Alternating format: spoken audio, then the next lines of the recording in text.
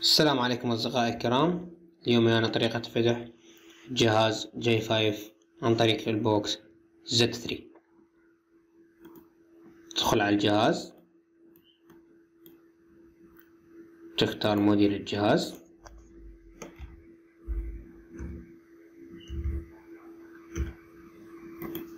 تروح على خانة unlock تدخل الجهاز بوضعية download بالضغط على دقمة ال power مع زر ال home والاتجاه المنخفض صوت راح تلاحظ ظهور شاشة أضغط على الجهاز على الاتجاه الأعلى للاستمرار. شكل الجهاز. راح تاخذ الجهاز عرف على الجهاز. تضغط على خيار reset FRP. reset اي اي.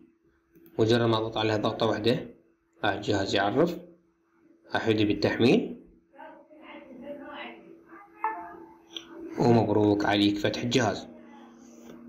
ورا ما تخلص ويفتح الجهاز ذاكرة التخزين الهاتف راح تنملي.